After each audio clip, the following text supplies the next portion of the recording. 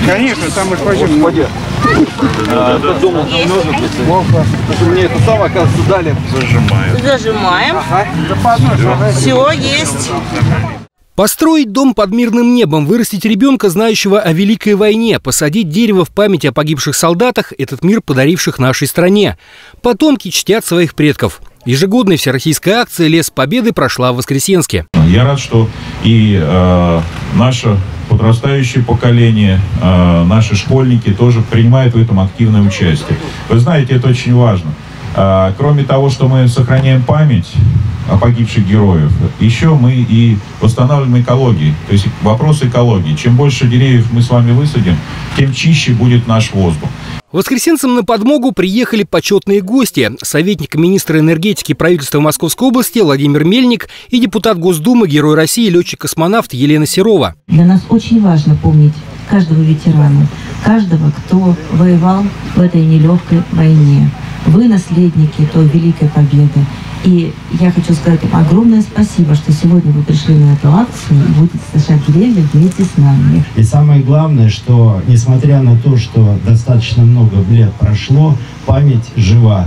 И память передается ну, через молодое поколение, которое э, чтит э, подвиги наших отцов, наших дедов. Среди участников действительно много молодежи. Воскресенские молодогвардейцы, активисты движения «Родной край» и юноармейцы. Я считаю, что это важно для всех, потому что это не только помогает очищать экологию, это улучшать экологию, так еще это делается в память погибших героев Великой Отечественной войны. Лес Победы уже давно стал семейным праздником. Кстати, здесь можно не только поработать, но и отдохнуть. Еще одна традиция – каши из полевой кухни. Акция проходит с 2013 года. В семье Петровых уже есть свои именные деревья. Надо, чтобы в семье традиция была. Я считаю, что должна быть традиция какая-нибудь. Это прекрасная традиция. К 9 мая сажать лес. А вот Шишкины, наоборот, посадили свои первые сосны в память о предках-героях. Дедушка принимал участие. Мать О, тоже на да. границе. Вот. Мой дед дошел ну, до Праги, освобождал Прагу. Потом до 49 года еще служил в Австрии.